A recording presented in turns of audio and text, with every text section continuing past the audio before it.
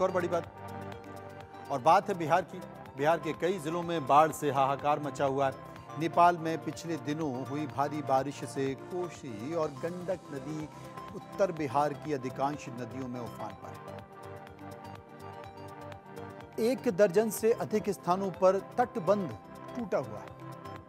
Kosi, Birpur barrage और Gandak barrage में इस बार छप्पन साल के बाद रिकॉर्ड पानी डिस्चार्ज हुआ है। बहा। है और उसके कारण ही उत्तर बिहार में बड़े इलाकों में बाढ़ का पानी फैल गया। पिछले दिनों हवाई सर्वे के बाद बिहार के मुख्यमंत्री नीतीश कुमार बाढ़ प्रभावित क्षेत्र का निरीक्षण करने दरभंगा पहुँचे। पोलो मैदान स्थित इंडोर स्टेडियम में बाढ़ पीड़ित के लिए तैयार किए जा रहे फ़ूड पैकेजिंग केंद्र का उन्होंने निरीक्षण किया।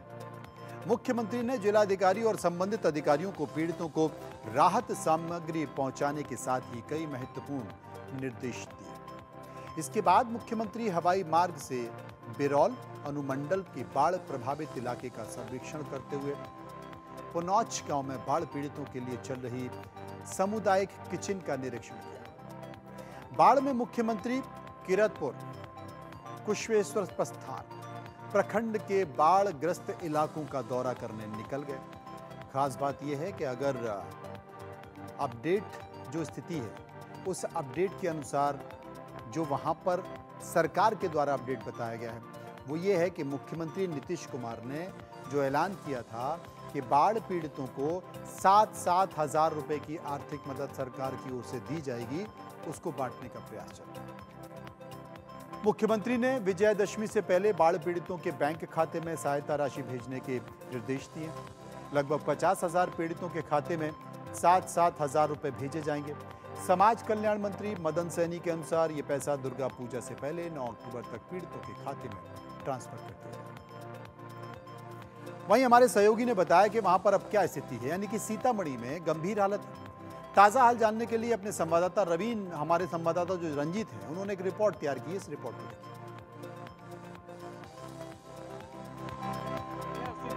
सबसे अधिक बाढ़ से प्रभावित इलाका अरुणी शहतपुर प्रखंड क्षेत्र है, जहाँ लोग सड़कों पर किनारे में बस कर अपना जीवन यापन कर रहे हैं। और कितने लोग तो पलायन कर चुके हैं और लोगों के बीच भुखमरी की समस्या उत्पन्न हो गई है। इन सभी के बीच कम्युनिटी किचन की व्यवस्था की गई है और जिलाधिकारी Richi Pandey, SP Manoj Tiwari, SDO Sanjeev Kumar, DSP Ramakrishna के द्वारा औचक निरीक्षण किया गया है। साथ ही कई आवश्यक दिशा निर्देश दिए गए हैं। वहीं हैंड पंप भी यहाँ गाड़ा जा रहा है कि बिहार सरकार के द्वारा जो तमाम राहत कार्य चलाए जा रहे हैं, वह सभी बाढ़ पीड़ितों तक पहुँचे, उसके लिए जिला प्रशासन कमर कस चुकी है। लगातार निरीक्षण किए जा रहे हैं और कई दिशा निर्देश दिए जा रहे हैं। बता दें कि सीतामढ़ी ज़िले का बेलसंड और रूनीशैदपुर सबसे अधिक प्रभावित है और यहाँ खुद जिलाधिकारी निरीक्षण करने आए हैं। हम जिलाधिकारी से बातचीत करेंगे। प्रशासन की ओर से क्या सुविधाएँ उपलब्ध हो रही है?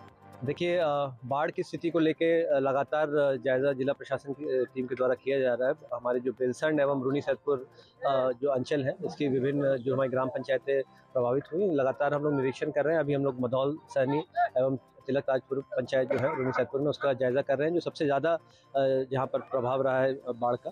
तो यहाँ पर हम लोग देख रहे हैं कि जो सामुदायिक किचन है, वो व्यवस्थित तरीके से चले, जिससे गर्म पका हुआ भोजन जो यहाँ के लोगों को मिल सके।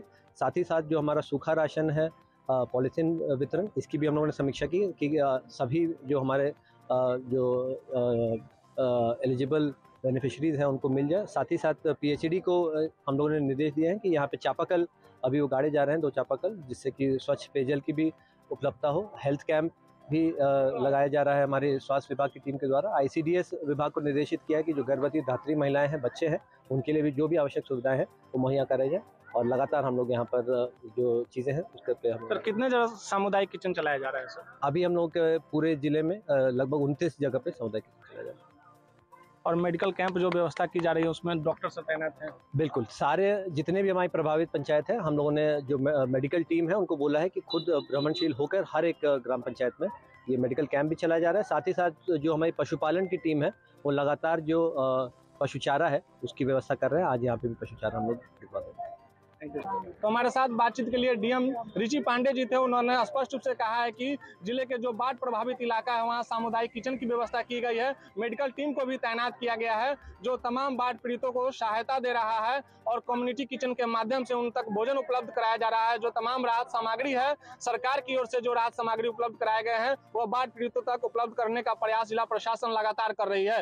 Ranjeet Kumar, India News, Sitamarhi.